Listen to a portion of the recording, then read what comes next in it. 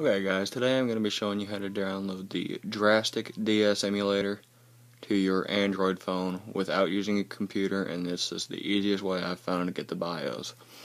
So what you want to do is you want to pick the game you want to, that you want to play and you want to download that ROM first. Don't do anything else, just do, do that first. So you're going to go to your browser and just Google CoolROM NDS as you see right there and it'll show you the most of you guys are probably going to be wanting to play like Pokemon or something like that. And so these, as you can see, those are like the top five. And just for the sake of demonstration, I'm going to be downloading Pokemon Soul Silver. Soul Silver. Hmm. There we go. Oh. There we go. Sorry about that. Okay. As you can see, this is just CoolROM.com. This is their mobile version. And, uh, you're just going to scroll all the way down here to download now. And you're just going to download that. And as you can see, it says starting download, so it'll it'll just start downloading it for you. It'll pop up right there whenever it's we'll start doing it. My phone's kind of slow, so just give it a second. Alright, anyway, you do that, and then while that's downloading, you want to go to your to your Android market and download.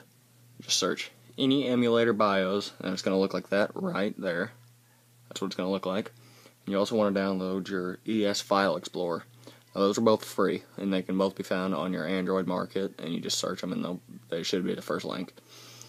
You download those, and then what you want to do is you, you want to download Drastic. Just search it on the Android market. It's $8 on Android, or if you want to search Drastic, APK on Google. I'm sure you can find a free version out there for some for you guys that don't want to eight dollars. But whenever those, whenever you get all those downloaded, Soul Silver's still downloading. But uh, now I already have uh, I already have Platinum Pokemon Platinum downloaded, and so I'm just gonna go ahead and open that one up just to kind of show you what it does. But you want to go to your any emulator BIOS, and this is how you get the BIOS. This is the easiest way I found to do it. You can do it other ways, but this is just the way I found to do it. Now, as you can see, it says select your console, and you just want to go to India and Nintendo DS BIOS, and you want to determine where it wants to go to, and you're going to want to put it to your mount, to your SD card, and uh, you want to click browse, and this is how you tell it where to go. You're going to go, you're going to scroll until you find you want to find download. That's the file that you want to put them in. See, it's right there. Uh, and then just click select. Don't click any of this, just click select. It said in, uh, here, I'll show you that again. Where you see it says NDS BIOS, I have already done this, that's why it's there. It won't be there for you guys until you put it in there. So go ahead and do that. And then you want to click generate BIOS file and I've already done that, so I'm not going to. There's no need. But what you, it just automatically does it. And then whenever you do that, you want to go to your ES File Explorer, and you want to find. I'm so sorry for this. I'm using my iPad, the iPad YouTube catcher, so the picture's terrible. But you just bear with me. And you want to scroll down until you find download, and then you download that. And as you can see, it's right there. And if you click on it, you have BIOS, NDS7 ROM, NDS9, and firmware. If you read the description on the Drastic of the Android Market's description, it's going to say these are the three that's required. And whenever you open the app, it'll also tell you that it's required. So that's what you do. You get those, and you just want to make sure they're in there. You just want to make sure they're in the download file. If it's in the download file, it should work. It the the Drastic tells you to put it somewhere else, but just stick it in the download. It should work fine and it's going really slow. I don't know why it's going so slow, but as you can see, that's 36%, but I already have Platinum downloaded, so I'm just going to show you guys that one. And then you're going to click on Drastic after you get that done, and it should it should take you automatically to this screen, but you might have to, it'll tell you the stuff that you have to install, and then you just click install, and it should do it automatically. If it doesn't, leave me a comment, and I'll help you try to work through it. When you get to this, you're going to want to click Load New Game. And here's, it'll say All.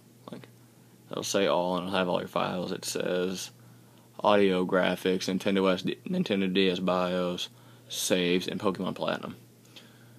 And then my recent is just Pokemon Platinum. So you're going to click on it. Do you want to do You want to resume your last save, choose no to start a new one. Just always click no. Always. Because in Pokemon, whenever you click new game, it gives you the option to carry on from where you started. It'll it'll just bring you up to the normal Pokemon menu like it would if you were playing on a real DS. And so it'll go through your menu. And you can see that. And this runs perfect speed. I mean, it's just it, the frames mess up a little bit. Picture's not perfect, but the, the speed is just flawless. You click A, and you can see what I'm talking about. How it it gives you this option. You just want to click New Game every time you play a Pokemon game, and it'll take you to this, and then you just resume. You just click A and resume from where you're at, and then here I'll just run around for a little bit so you guys can see how how flawlessly this runs. I mean, even with the running shoes, the frames, it's just the speed, it's just beautiful.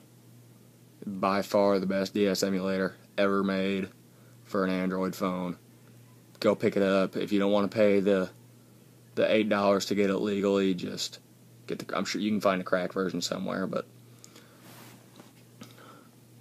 yep, that's pretty much how you do it. Leave any questions in the comments, and I will try to get back to you as soon as possible.